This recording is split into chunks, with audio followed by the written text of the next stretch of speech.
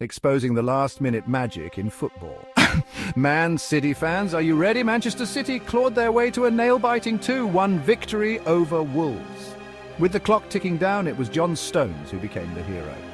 Wolves struck first, catching City off guard with a seventh-minute goal by Jorgen Strand Larsen.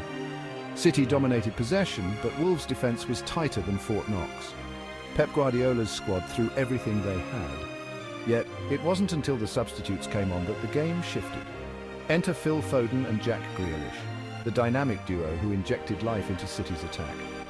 The tension reached its peak when Stones' header from Foden's corner found the back of the net in stoppage time. VAR drama?